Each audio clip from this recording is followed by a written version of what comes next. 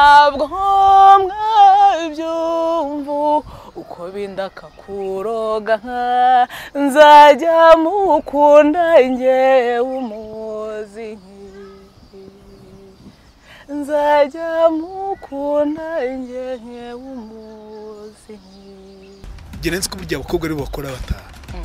Ashwe ubu byarahindutse mama. Abatipe mu basigaye baraturushije Eh, bagakora bataha tu hano mufite n'ibintu ukuntu abatipe baturira mu mibare? Umutipe usanga afite nk'amajinisi nk'atatu. N'amashati atatu.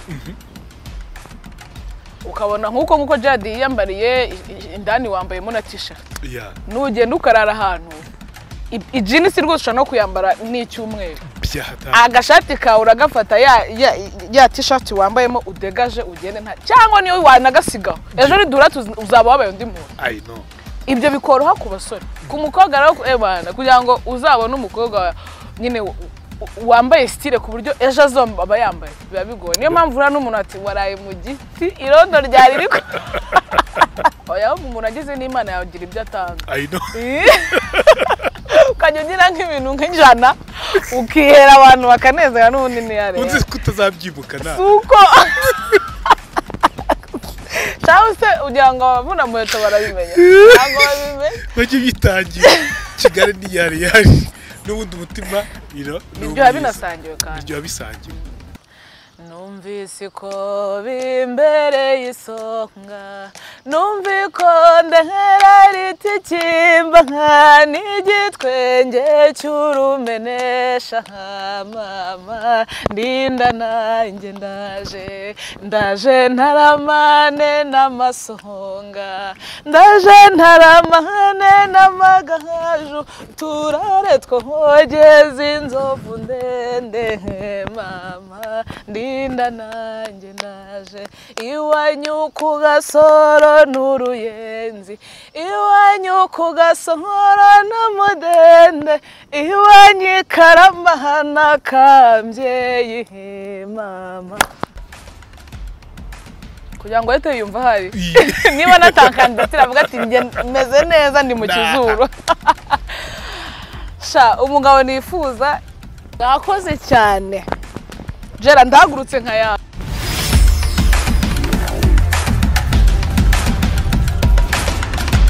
ikaze mu kiganiro inkuru yanjye. Muri kano kandi ndi kumwe na alice masinzo. Ngo bimeze biti ibintu ni sawa ibintu cyane ni sawa cyane. Ibintu ni sawa cyane. Ibintu ni olala. Ku mafime yawe. Ewana yanjye. Bwite. iyo utangiye kuvuga gutyo wasanga abra- sure? we- winyibutsa umuntu bambwiye ngo ariko se ngo urinde wagutije izo sandari ngo wagutije fime. Ahita muraburiza nk'uko namuraburije. Wahora neke oya naratwi na- ni utwo nihamahamyeho wihamahamyeho Eh. wa? Mbwira sasa rero. Kugira ngo uhiteho gutyo ukuntu usa ukuntu wisize ku minwa hejuru ku bitsike ni- cyangwa kumenya bigohe? batari kubireba neza. Hose. Mubimanure mubishyire ahantu hose kabisa. Okay. Mhm. mbwira byagufashe umwanya munini cyane. Uyu munsi biragaragara ko niyitayeho nimakiye pe uyu munsi rwose ntago ama- uyu munsi ntago bya oya ntacyo ku byose it's okay. Oya ntacyo ahita umusubiza ariko ndabikora. Uyu munsi biragaragara ko hari ukuntu ibintu bimwe na bimwe byahindutse. Urumva natinze mu- mu- mu- muri peu. Nk- nk'iminota iyo nari nsanzwe nkoresha hongeyeho nk'indi nk'icumi. Iminota icumi yose. Nahise mbwira kuki uyu munsi washatse ko bihinduka? Ako gatushe urumva bundi eh, buri munsi ntabwo umuntu wese abyukira iburyo. Hari n'igihe ubyukira ibumoso hari igihe ubyukira moso n'iryo ariko uyu munsi nabyutse kubera ko nabyutse nabyutse njya muri siporo mva muri siporo ndaza nkora utuntu mu rugo ndavuga ok uyu munsi mfitanye ikiganiro na gerard. Reka njye nkore na makeup. Yeah. umunsi wanjye urangire wose ari, sawa cyane. Umeze neza. Ese mbwira iyo wambaye neza cyangwa ukwisaho make-up nziza ukabona muri miriwari no mu mitekerereze birahinduka? Mudu irahinduka? Uretse n'ibyo n'iyo nta muntu ubikubwiye wumva agahinda kawe ariko ubundi turabizi. We ahantu abakobwa batandukana n'abahungu. Umutipe we kumubwira ngo urasa neza wambaye neza. We don't Ari care. umva umva you guys you don't care. Ariko umukobwa se azambare neza agakweto kamuhenza agakanzu cyangwa ajye noneho cyane ko makeup aba makeup artist banahenda. Nurangiza ntumubwire ngo basi ndabona hari ukuntu eh byagenze. Yo! Uwo wumva agenda kakwisha nk'ubu iyo utabimbwiye byihorere imana ira ishimwe pe. Ishano ko- umaze kukubwira ko usa neza. Kandi boko izo rinete zirakubereye. Merci beaucoup. menya ugiye gukora ikiganiro utazambaye. Ndakubwira uratwika neza. No kubiteho izo rinete. Nabaye umuhinde. Mbwira iyo umuntu akubwiye ngo urasa neza muri wowe wumva umeze gute? Iyo umuntu akubwiye ngo know, uri mwiza. Gute? reka mbwize ukuri. Agakomplima kose iyo ari pozitifu kararyoha. Yego. Cyane. Buriya sinjya n'umuntu hari ukuntu umuntu ajya kuvuga ngo wa ngo wambaye neza akambwira mpa ijana oya pe. Njyewe mpita mbwira nti mva urakoze bya hato saho nkuye Sa- ntabwo ubizi. Ariko uzi uzi uzi mana yanjye. Uba uba byaguhenze. Uri n'umukobwa wahereye ryari wi- wikoraho wikoraho wikoraho ukabona umunsi wijeme? Ya wijeme. Ni agahinda ubushize twakoze ikiganiro. Turi kumwe abantu baragikunda ikintu cya mbere nese nkubwiye arise urakunzwe. Si cyo kintu nakubwiye? Wabonye comment nyinshi cyane. Nyinshi bavuga arise turagukunda dukunda uburyo ukora ikiganiro kuri radiyo dukunda amagambo yawe. Abantu abantu benshi rero i kigali uretse na kigali gusa no ku isi abantu stress zabaye nyinshi cyane. Ya iyo ubonye umuntu ari kuvuga ibintu wowe utatinyuka cyangwa ukumva ari kuvuga ibintu ukamureka "Mm, ni we se? Yeah. Ut- utega amatwi. Ugaseka ukishima ukavuga ok okay ni agaki kagutunguye. Eh, abantu benshi abantu benshi batu ariko cyakoze reka mbabwize ukuri. Naje gusanga. Ni iya nyuma. Noneho iyi ni ihetse izindi. Abantu benshi ngo byarabatangaje ngo kuba ngo ndi singo ngo ni gute umukobwa nkawe udafite umusore you know? Uri public figure ukora gakondo. Donc ugira ugira uburyo bwo kugenda ahantu henshi hatandukanye uhura n'abantu benshi batandukanye how? Nawe mwako mwagiye nase njye kwamamaza. Ubu njye ubu njye kwa rubangura kiriho ya mikoro mvuge ni ibintu bya hano hahiye. Abakope ni miliyoni. Ariko ikintu cyashimije ni ukuntu umuntu wese gera ntabwo ari ukwirarira umuntu wese arebye kiriya kiganiro yarishimye. Ni ukuri pe. Icyo nanjye narakibonye. Washimishije abantu mbwira ibyishimo bikuraho ubundi. Kugira ngo nawe utange ibyishimo. Ufite hari ikintu wirirwa mvuga nanjye mu kiganiro dukunda gukora tu- na michelle nanjye kuvuga ngo n'uwo tugikorana ukagira ngo ntabwo agira izina. Ako ni agashiya nako. Wakumvisha akantu kamukusha hirya kamukushi kari kanjemo na michelle dukunda kuvuga tuti utanga icyo ufite. Iyo ufite urukundo urarutanga iyo ufite ibyishimo urabitanga iyo ufite umunabi urawutanga iyo ufite urwango urarutanga wowe waduhaye ibyishimo. Ibyishimo nka biri bikura he? Mfite ngira principe mu buzima. Biriya bintu abantu bajya bavuga ngo natwe ariko turabyumva ngo ukora ineza ngo ukazayisanga imbere. Yego. urumva? Njyewe making sure ko ahantu ntanze ibyishimo. Uko byagenda kose simba nzi ngo n'ejo cyangwa ejo bundi ariko. Donc, ni- njye ndikunda ubundi jera ndikunda pe ku rwego rushimishije. Kandi niba nikunze ndagomba kuguha ibyiza kugira ngo nawe feedback yawe ize impa ibyishimo. Yongeye kugaburira. Yes ni devoir yanjye yo kugushimisha kugira ngo none se mbwira kugira ngo wikunde ubashe aho kugira ngo ugire ibyishimo wikunde ute kugira ngo natwe wenda bitubeho. Duhora duseka duhore dutanga ibyishimo duhora du- dushobora kuganira you know? Wikunde ute ubuzima rero buri munsi bu- buri munsi uko umunsi wije mm, ugira icyo umenya ugira experience wunguka ugira ijambo rya vocabulaire wunguka ugira abantu bakujyanye muri sens negatif bahari. Ukabashyira ku mutwe. Yes! I- ni ukuvuga ngo umunsi kugira ngo uhere mu gitondo ugere nimugoroba. Uba wahuye n'ibintu ingeri zose. Wakubwiye nabi wakubwiye neza wakubwiye akajambo keza wakwibye wakudesovye aho wungukiye mbese umunsi ujya kureba kurangira iyo ukoze nka evaluation ukavuga ati umva ahubwo naho ndarwana. So jyewe rero ubundi negative vibe ntago duhuza mu buzima bwose ntago bikunda kabisa. Bivuze ngo iyo uhuye n'umuntu akakugira nabi akakubwira nabi umushyira mu gatebo ke ku buryo utongera kubonana nawe. Oya ndaniyeranje ahubwo buriya hari ukuntu abakobwa tujya tugira ngo gusiba nimero. Jyewe nkusiba mu mutwe. Kuko nimero nta kintu iba ivuze Yeah. anytime ushobora gushaka nimero ya- ya- yawe mfite uwo nayisaba. Ntabwo nayibura. Ahubwo ngewe hano mu mutwe ndavuga nti sasa ngewe n'uyu nguyu kugira ngo tuzahurire kuri dodani feruje zisakabaka ibintu bi- bi- bitwike. Ngomba kugendera kure. Inzira zanyu kabisa. zitandukane ewana ku buryo nkureba nkavuga nti ntago bikunda. Cyakoze mu minsi yashize ukuntu mu myaka yashize pana mu minsi yashize batagira ngo n'uyu munsi niko bikimeze hari ukuntu abantu bakundaga kunyinjirira ufite ntabwo ari uko ari igihe baboneranaga ahubwo ni uko nabi- nabihaga umwanya. Ugasanga umuntu akwinjira imana akaba yakubwira nk'amagambo atari meza akaba yakwereka ko uciriritse uri hasi. Iyo namenye ko ako kantu gafite ushaka kunyera ko ndi hasi nciriritse cariya nanjye cariye mbere ukuntu nari meze sasa rero. Hari ukuntu nagucinyagaho inkoro you know, kugira ngo unkunde twa tuntu mbese know, gucinya inkoro eh? ko kugira ngo nkunde kugira ngo gute se. Uyu munsi ntabwo ariko bimeze cyariya nanjye cyariye Gerard, niba utanyiyumvamo mfite benshi banyiyumvamo. Yes! Icyo ngicyo ni cyo abantu bagomba kumenya. Hari guca bugufi cyane ukarenza bitera agasuzuma ni ukuri. Iyo umuntu umweretse ko utamufite utabaho ni ho akurira. Akurira. Ariko iyo umweretse ko? Iyo umweretse ko nawe wishoboye ukamwereka ko ufite inzira yawe. Akwirukaho.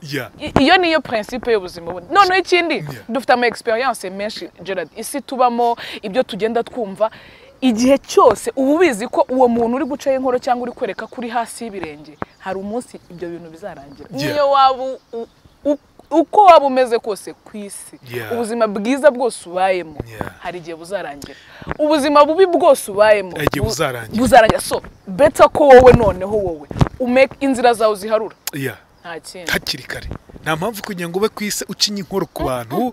Nta mpamvu kugira ngo ube ku isi wumva ko uri hasi y'abandi. Oya. ahubwo making sure ko kora ibishoboka byose kugira ngo inzira zawe zigende neza ziharuruke ziharure zi- Uziharure.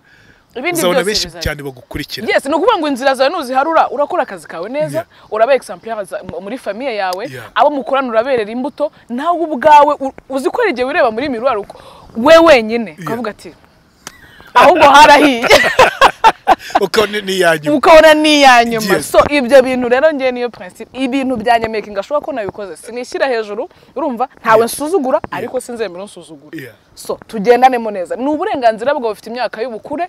Niba bidakunda. Keba na yo. Ewana ukijuje. Mbwira kimwe mu bintu twaganireho harimo ikintu cyitwa kubyibuha. Ntabwo ubyibushye cyane by'umurengera ariko nanone ufite taye kabisa. Eh, inshyushyu yakoze akazi. Hari benshi cyane bavuze bati arise wiyakiriye gute ko twebwe byatunaniye? Arise Eh, warabibonye? izo vibes u- i- i- ni byo byagufashije kugira ngo abantu batakwinjira batangiye kuvuga kuki utananuka? Kuki bimeze gute? Eh? gusa nanone gerard hari ikintu tutakwibagirwa hari na background y'umuntu burira konta. Yego. Yes. Bitewe n'uko abantu wahuye nabo uko wakuze kuzagera igihe biragufasha mu mikurire yawe. Ni kwa kundi bavuga ngo uburere buruta ubuvuke. Kuvuka twese turavuka. Ariko gukura uko turerwa biba bitandukanye. So ibyo kuvuga rero ngo ndabyibushye ngo ngo uriya myenda ngo ntabwo ari umuntu ubyibushye urumva? Ngo ngo umuntu ubyibushye ngo ntabwo yambara ngo utuntu ngo tumu ngo Tumufashe. urumva? Ngo ntabwo yambara mu buzima busanzwe. baha ikinyarwanda. Umva mu buzima busanzwe njyewe nta nubwo umva wa- wavuga ibyiza nk'iyo nambaye mini. Sibyo nambaye akantu kagufiya. Mbona bambwira ngo wambaye neza urasa neza birakubera. Nkumva abandi ati oya rwose tubabarire. Nakwambara ibirebire. Ati ibyo bintu ntabwo bikubera. Jya ugerageza rwose uzahite ni mu iki." kwiyambarira ubusa rero niba byose you get? Babikritika. so nore jyewe jyewe ngomba kubanza nkikunda. Nkavuga ni imyenda ni iyanjye nayiguze. Ni irihe tegeko rihari ko uyu mwenda ari uw'abananutse uyu ari uw'ababyibushye iryo tegeko mu itegeko nshinga birimo? Hari mu itegeko y'imana icumi arimo uraza umbaze yeah. Witwikire wimanukire. Niba nezerewe. Iyo ne- mba- iyo nezerewe jyewe ibindi kuko ndabizerega nta uzareba ahantu hari ubuki. Haza utuntu tw'udushishi utuntu turi ahantu cyangwa ahantu hamenetse isukari. Bakurikira inshishi zikurikira uturyohe. Ni parasite. Justement niba ngerewe nishimye. Yeah. Ndabira babivuze rega kubera ko nabaye sho barishe nese mbwira komantere wabonye avuga bati arise kuki wambara ibintu bigufashe kandi ubyibushye ukibuze ubona ku nshuro yambu ntumbeshye ntabwo nkubeshye Ntabwo zambabaje ntabwo rwose zambabaje kubera ko first of all ndabizi ko mbyibushye. That's number one. Ikindi cya kabiri ndikunda. Ikindi cya gatatu none mfite n'abantu bankunda pe. Bahora uha compliment yes abo bahora bampa compliment nziza. Zinyubaka zifite aho zingeza. Kandi hari n'umuntu uba ubizi ko adashobora kukubeshya. Mu buzima turakosa ntabwo mvuga ko mpora ndi perfect nshobora gukosa ariko si umuntu mbonye rimwe kuri youtube. Who are you to judge me? Like for real. Ikindi cya kabiri ntabwo ukuri kose ari ngombwa kuvuga. Hari ibintu ubu aho kugira ngo uvuge ibintu bintu bimubabaza ubishyire ku karubanda why not utajya in box ngo umubwire ati sasa rero duhindure. Abantu dushaka kuvuga ngo tubone ko navuze runaka yavuze byagiye hanze. Ariko iyo tugarutse ugashyiramo umuntu kubera iki wowe wumva wasohora cyane ikintu umuntu kimubabaza aho kumubwira ikintu kimwubaka izo ni uh, negative comment. Ba- cyangwa ni point de vue Yabo. hari n'abandi noneho bagushimaga bati arise burya ayo magambo yakurehe ku buryo Eh. uganira? Ati mumureke yavuye mu rugo yirebye. Ati niba yikunze muramubaza iki? So niyo mpamvu nyine. Jaya, niyo mpamvu buri wese afite point de Yeah. ngaho utekereza ugiye kubikurikira. Wazasanga waragiye sansinike bamwe bajya iburyo ukajya ibumoso. Bamwe bicara abandi bagahagarara abantu baragukunze. Gukundwa bimeze gute? Gukundwa nanone n'abantu benshi abakuze batakuze eh gukundwa byo bimeze neza cyane. Biryoha gute? Natoye yego. I know. I know. Gukundwa cyakoze ni umugisha that's Yeah. number one. Kugira abantu bagukunze b'ingeri zose abantu bo muri Etats Unis baranyandikiye. Belgique baranyandikira France baranyandikira Allemagne baranyandikira. So mu gihugu n'abantu ntaba nzi ko barebye n'ikiganiro. Nkumva ati mva wo mana we. Ati maze kureba inkuru yanjye. Ati cyaze mbasi ariko nkavuga nti wow. Ngewe rwose mukomeze mu nkunde kuko nanjye mfite urukundo nzarubaha rwinshi cyane. Wumva muri wiyongereho nk'ibiro bingahe? Wumva muri we mbese bimeze gute umuntu akubwiye ngo ndagukunda? Cyangwa bakweretse gukunda nka kuriya? Biturutse ku byo ukora. Hari abantu bajya kuri radiyo warangiza ugasanga afite abantu benshi ahubwo bamwanga kwenza bamukunda. Bitewe n'uko avuga bitewe n'ibyo avuga wenda atazi you know? Ariko ukagira imana ukabona abantu bagukunda ndetse benshi cyane. Benshi cyane. Wumvaga bimeze bite? Sha jera nyine uba wumva uba wumva urabona ukuntu iyo utetse inyama ubimushyiramo uturungo ukuntu agahumuro kagenda kaza- kazamuka eh, kazamuka. kazamuka ushyiramo umunyu ushyiramo eh, wumva ukuntu eh, ukuntu bigenda bizamuka. Nanjye ni uko mba meze. Ni ukuvuga ngo iyo nki- nkiva hano mba nishimye mu buryo busanzwe. Uko ngenda ntera intambwe uko ngenda mbona comment uko ngenda bigenda byiyongera ku buryo kwawe navuga ngo iyo umuntu yishimye ngo ibiro birongera nababyara naba ahubwo naragiye nko kwa rubangura igice kimwe. Ikindi hano gusa biraryoha uraryama ukumva uraruhutse ukabyuka ukumva uraruhutse nta muntu n'umwe ijambo ryiza ritubaka. Niyo mpamvu duharanire kuvuga ibyiza. Ni ukuri pe. Tubwiye n'abantu bagenzi bacu icyiza kibariho tubahe compliment nziza cyane ku buryo. Hari ijambo rimwe nigeze kumva bidutwara isegonda rimwe kugira ngo tubwire umuntu ko tumukunda tubwire umuntu ko asa neza tubwire umuntu ko yakoze neza. Ariko we bimutwara ibinyejana n'ibinyejana kugira ngo yishime iteka. Ijambo rimwe mubwiye rigutwara isegonda rimwe. Ariko bimutwara igihe kinini cyane. Bifata igihe kinini cyane mu mutima we ibyo byishimo bimufata igihe kinini cyane. Kubera iryo jambo wamubwiye rimubwire yishime by'igihe kinini cyane. Ikindi niba ikindi ikindi tujye tumenya n'ibyiciro tubanyemo n'abantu. Niba ngiye gerard dukorana tubonana buri munsi uko gerard azanyisanzuraho siko undi munyarwanda wese tutabonana tutakorana azaza akanyisanzuraho. Ibyo ntabwo ari ibintu. Ni ukuvuga ngo niba wowe ukuntu waza ukambwira ikintu. Siko n'undi yaza ibi- ni na maturite kumenya ngo uyu muntu uri runaka ndamubwira gute? Tubanye gute? Uhuye n'umuntu ntumuzi. Rerererererere ese ko mbona ukomeje kumbana icyuki we? Ego Oh, kigali. ni nijye mukobwa i kigali w'icyuki. Nese ni wowe mukobwa i kigali w'icyuki? Ni jyewe abenshi ubimpakanya se kuri icyuki? Eh.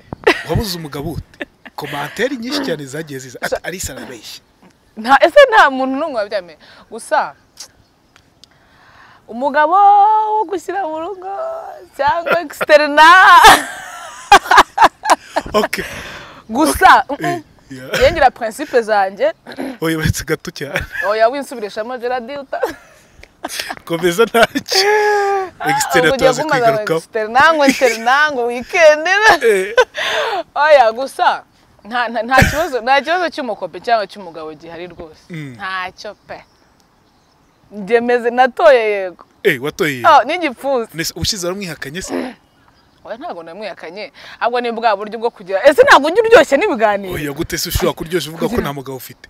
Nta mutipe ugutereta ariko uretse ko nta n'uhari. Ndabyibutse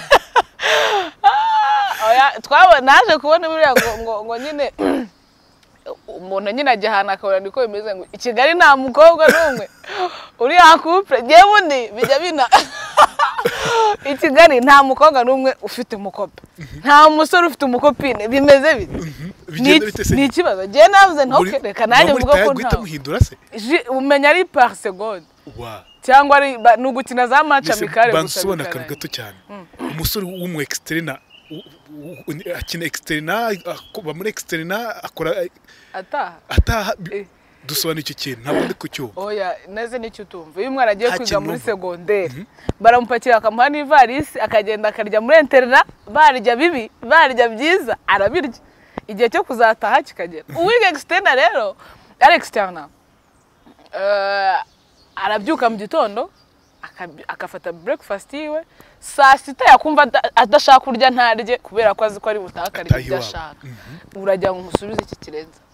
Bivuze ngo n'umuhungu akora ataha. Aho ni urucabana bana yanjye. Wa. Ino kigali kandi bireze bya hatari. Ubundi ngewe nabwiye ngo kigali ukuntu isigaye imeze. Iya. Urareba ukavuga ati no iyi ni behind scene ariko ntabwo ibi bintu ari byo." kigali.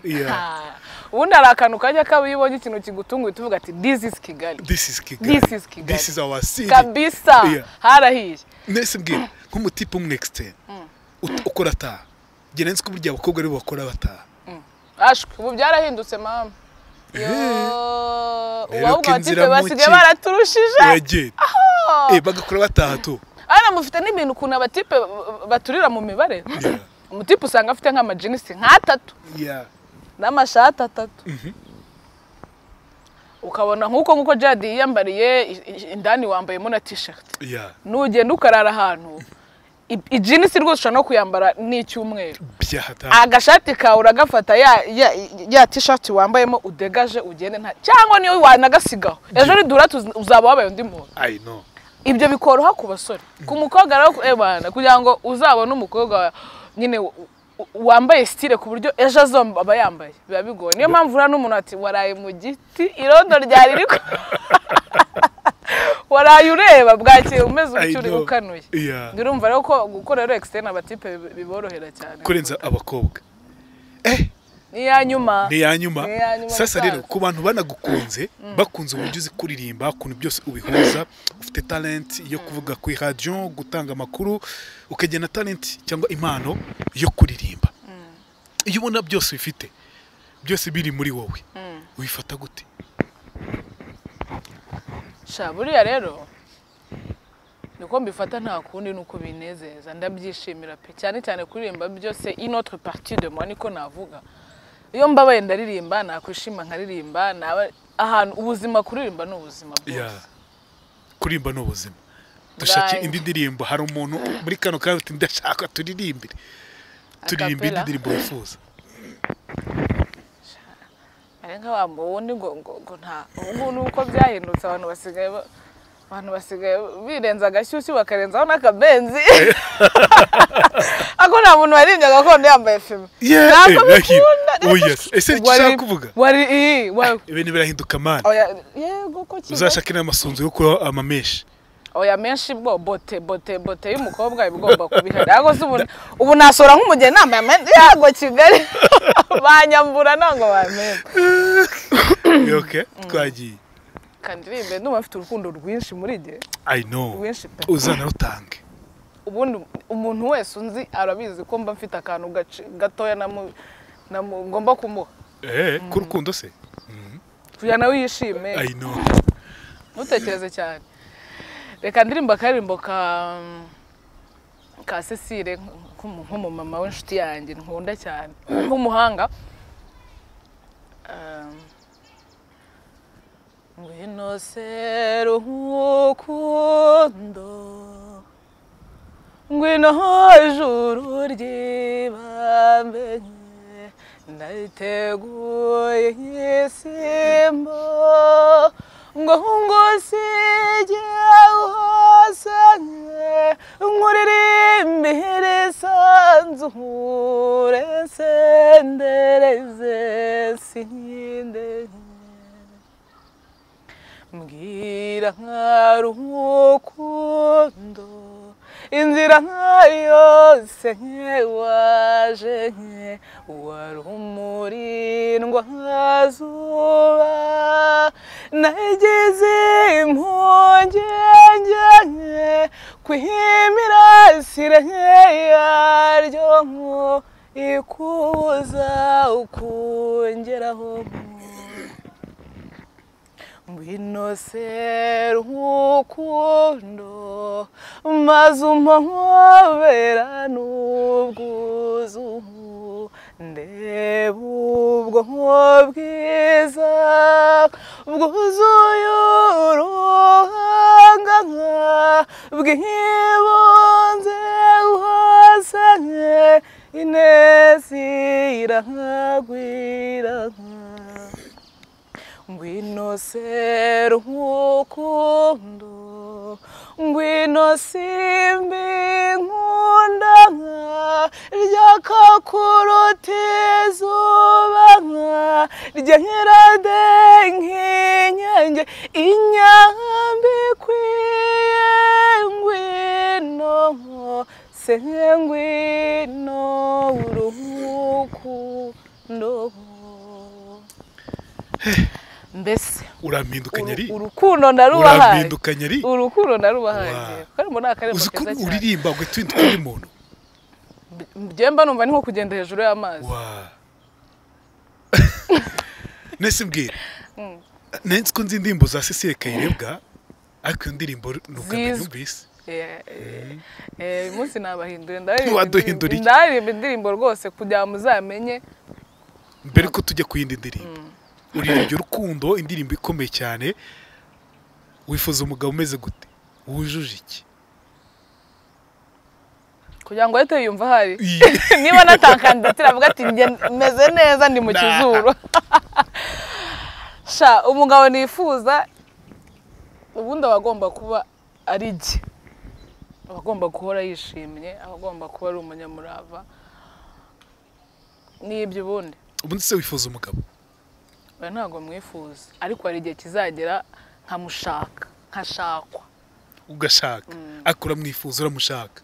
Oya iki gihe oya kwifuza bijemo ibindi bintu. Oya ntabwo nifuza umugabo umugabo we agomba kumushaka. Umugabo agomba kugushaka ariko nawe ugomba kumushaka. Tuzashaka ariko n'uzabanza kumushaka. Niwe ugomba kubanza Eh, kumushaka. ese ntuzi ko umusore ubanza gutera intambwe?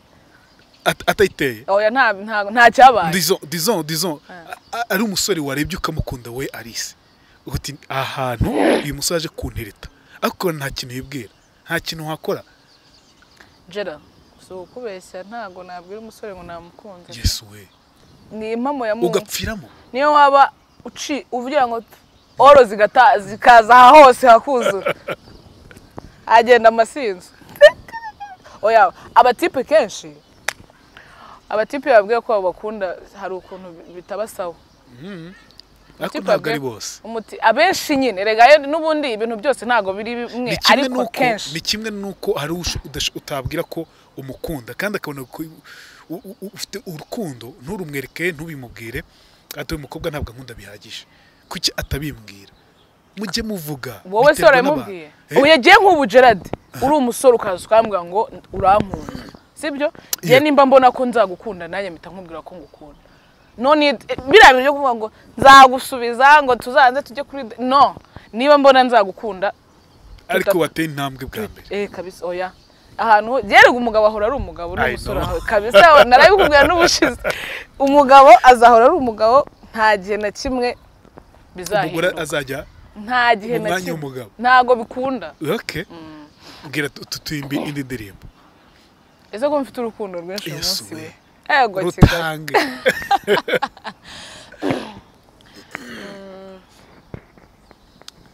uyu mwana ni we mahoro kandi nzagira umutima.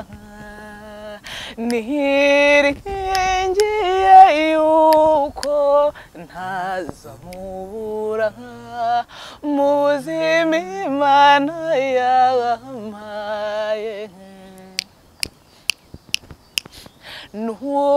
nushaka n'igitangaza nzagisaba nkiguhe. Ntacyo ntazakora ngo ngushimishe mu buzima imana yampaye nagute reye divanze nkiza mu mutima ugukunda nayitatse zaha zahabu na diyama byose ni ibyawe mukunzi ntukite kubivugwa hino by'abatazivanjiye nkiri bagaye imitima yikundanira kandi ari itegeko ry'imana uguhuka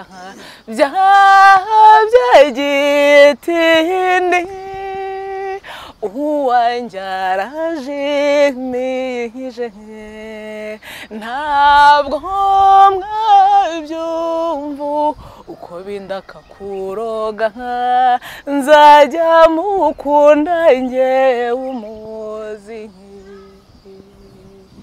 Nzajya mukunda njyewe umuzi. Uzajya umukunda uwo muzi kabisa. Abandi mu byihorere. Bavemo. Tugana ku musozo ndabona biri kugenda abwira Ah, twavuze ku byerekeranye n'urukundo. Twavuze ku byerekeranye ah, no kubwira abantu amagambo meza kandi akwiye. Ah, byanze bikunze hari abantu navuga ngo bafite ah, umutima utari mwiza us- ushobora no gusanga bashaka gusangiza abandi si kubitamo filime zawe. Birahindutse ubu turimutse birahindutse Aha. nk'uwo muntu navuga ngo akenshi ugira ikintu navuga ngo cy'umutima umwe akagisangiza n'abandi. Wababwira iki? Njyewe abo bantu rero icyo nababwira ni ukugerageza ujye umenya ko niyo niyo wakora ikintu njye sinkimenye usha- unshakaho ikibi ujye umenya ko n'imana ikureba. Njye sinkureba mu buryo buri visuwere n'ahantu hose uri ariko ujye umenya ko imana ikureba. So biba byiza iyo ukoze iyo ukoze ikintu cyiza kuko n'ikintu cyiza kiratugaragarira twese. Kandi twese tukagushima tukaba twanagusabira n'indi migisha. Niyo ukoze nabi same story ni byo bikubaho. Wakwishimiye mu isi mu ijoro ko utabizi ukuntu bizagenda. Isuko kora ibyiza ku isi mu ijoro wabona bonema ntacyo. Ariko iyo ukoze neza ku isi uraryoherwa ku isi? No mu ijoro bakazaguha haki agasangira nyine ka bona I know. Yeah. yeah. Byanze bikunze.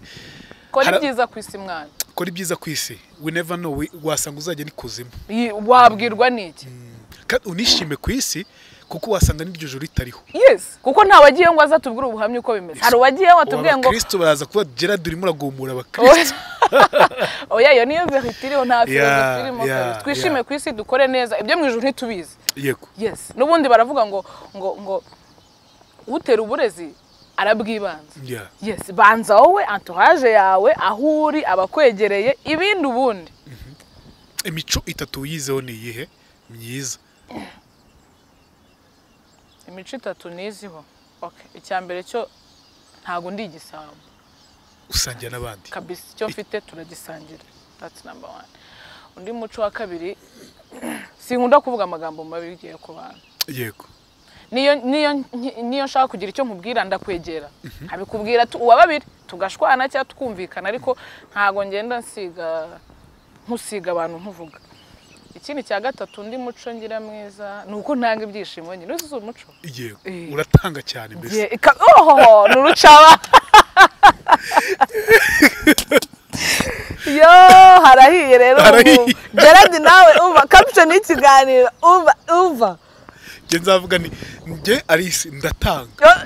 Mani ushaka byose nza- umva. Nzagukubitisha inkuba. Oya njye nkoresha nkoresha tayito y'ibintu mba numvise mu kiganiro. Oya ibintu byo gutanga no kudatanga se. Ariko gutanga ni byiza. Uz- uzabe nyirakigune se? Oya umuntu agize n'imana yagira ibyo atanga. I. know ukajya ugira nk'ibintu nk'ijana ukihera abantu bakanezera n'ubundi ntiyareba unzi ko utazabyibuka si nawe uko? Cyangwa se ugira ngo abavuna muheto barabimenya. Ntabwo babimenya. Bajye bitangira kigali ntiyari yari n'ubundi ni biryoha binasangiwe kandi. Biryoha bisangiwe. Defo eshatu. Wiyiziho wenda wagerageje kuzireka ariko byaranze burya indwara iyo uyirase irakira. Eh, ukiri indwara irata. Defo? Eshatu wiyiziho mm, iya mbere yo ntabwo ndi umuntu uhita uvuga ikintu direct. Ngira ngo n'ubushize narabivuze. Yego. Ewana dushobora kuvugana tukarakaranya nkazabikubwira hashize nk'ukwezi. Kandi muri uko kwezi ntagomba nitwara nk'indyarya. Yego. No nitwara nyine bikurikije n'ibyo wankoreye. Iyo ni defo ndakeka. Ngo biba byiza iyo ubivuze bikarangira. Iyindi defo ya kabiri ngira se buriya ni iyihe we kwikunda se buriya ni defo iyo bibaye too much. Ukumva ko byose bigomba kuba kuri wowe icyo twita ego. Okay njye ndikunda rero sinzi niba ari defo. Ariko bidakabije egoyizme se? Oya no. Supa egoyiste rwose. Kuko njyewe kwikunda ni uko hari igihe wikunda bikafekita abandi. You know? Kukumva ko byose biri au centre de toi. Biri kuri wowe tu. You know? Ase ku wundi defo nizi? Ndumva nta n'izo ngira ubundi. Ubundi zose ni inki nta defu ugira. Oya turahari ariko si utwahatari ntabwo twadahaye dushobora no gusanga ari nk'ijana ariko kwa kundi tutari utwahatari nkaba ntanatuza. Ahubwo muri komenti muzazishyire abantu banze. Ni- iki wikundaho cyane ku mubiri kwenza byose? Ikintu nikundaho? Ku mubiri? Yego. Eh ko ari iya nyuma. Guhera ku kirenge kugeza ku mutwe hejuru. Ni iya nyuma. Nkunda nkunda nkunda skin yanjye skin ufite skin nziza y'inzobe. yes nkunda Yeah. skin yanjye nkunda nkunda nkunda intoki i love my fingers. Nkunda n'ikirenge yeah. Ikindi nkunda ni uko ndeshya uko nganaho nkumpora mbikunda buri munsi. Kungana byo sinjya mbirebaho yeah. Ikindi nkunda se ni iki nkunda na na n'ijwi ryanjye ijwi ryawe. Talent yo kuririmba igendanye n'ijwi byose urayikunda n'ijwi yeah. na hayiti ubwo igendanye no kubyina Yego. kurezi ko njya mbyina so. Yeah. ni irihe jambo ryiza wabwiwe mu buzima ukavuga uti ni iya nyuma? Wamuga ni iya hari ahantu noneho iya nyuma izihetse indi n'indi ihetse indi ijambo rya mbere ryanejeje ni ukumbwira ko nshoboye mu bintu nari ngiyemo mu mwuga w'itangazamakuru. Yego. Niyo compliment yanjye ya mbere yaniryoheye kumva kumva abantu utanakeka ko bakumva bakubwira ati mva wicaye neza uri uri uri sur mesure wicaye ahantu hawe pe komereza. Iyo compliment ni rwose. Irihe jambo ribi wabwiwe ukavuga uti aha noneho mvuyeyo? Aja- amajambo yo nshobora kuba nyumva kenshi. Ku nk'uko ubundi ngiye muri kamere yanjye allergique ku magambo mabi. Niyo untonganyije nkumva mpita numva neza ubwonko bugiye nko mu ino ry'igikoma. Ijambo nabwiwe se ribi ni irihe? Nca ntaryo ntaryo nta jambo ribi ndabwirwa ku buryo numva ibifu byimutse. N'amara. Tugana ku musozo. Igihe unasoje ndagushimiye kubana natwe. Ese undi watanga nimero ku muntu wifuza by'umweko kuzagwa nk'ikiraka cyo kuririmba? Eh ahubwo ako kantu reka nkavuga. Abantu bose muzarongorwa cyangwa muzarongora cyangwa abazi inshuti zabo ababa hanze abo mu gihugu. Mumpa mu ma- mumpa akazi kuko murabizi ko njye ntanga ibyishimo. Bagomba kuguha amafaranga nawe. Ngomba kumpa amafaranga nanjye nkaba ibyishimo. Ngiye kuba nimero yanjye mu- muzampa akazi nsohora abageni ndirimba mu makwe ndirimba mu amaniveriseri yishyuye ariko. Yishyuye kandi murabizi ko njye ntakunda ibintu biciriritse. Ntabwo bikunda. Kubita? Ukoze kuri izo rinete bihita byigaragara. Ewa ntabwo rwose.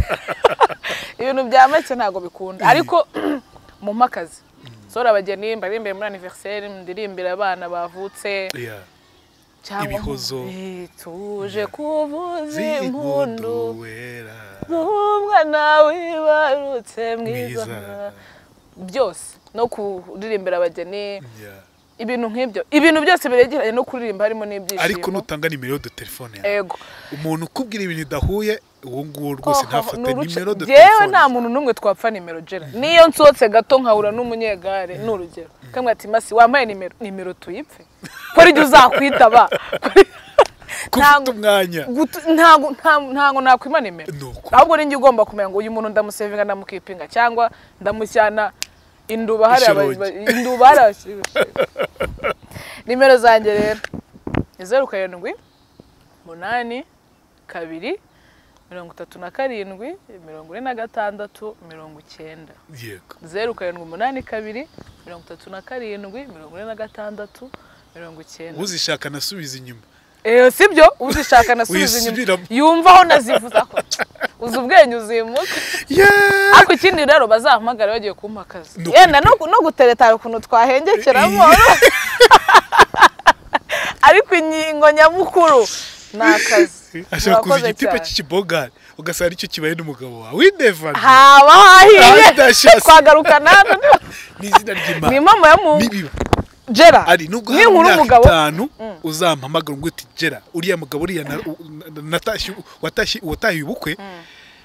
Buriya namukuye mu kiganiro cyawe. Shaka bisi nimero niyo yarayifatiye Eh, urumva nyine mwa basore mwe mwese ndacyareba kandi umuntu bizahura. Alice ni umwana mwiza muzamufate neza kirisekera kirivugira. Nta mutima mubi. Nta mutima mubi nta n'uburanga sinzagucura sinzakwiba nta kintu kibi nzagukorera. Ariko uziyaranga nawe ushyiremo utuntu tw- tw'utuvuta ibintu bisa neza. Wajya uhora wisekera anakuririmba aha ngabibaze nawe. Ni ubucabana nimero nayitanze. Shagera.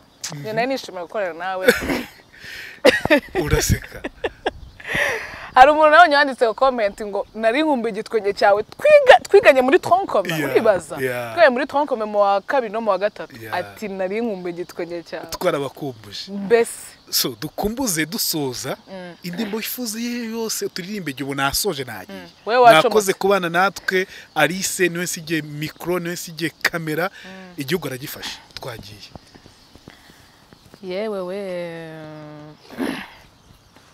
numvise ko bimbereye isonga numvi ko ndahera riti kimba nka n'igitwenge cy'urumenesha. Nka mama ndinda nanjye ndaje. Ndaje ntaramane n'amasonga. Ndaje ntaramane n'amagaju. Turare twogeze inzovu ndende. Mama ndinda nanjye ndaje iwanyu ku gasoro n'uruyenzi iwanyu ku gasoro n'umudende iwanyu karamahana kambyeyi mama ndinda nanjye ndaje. Mwako- mwakoze cyane. Jera ndahagurutse nka yawe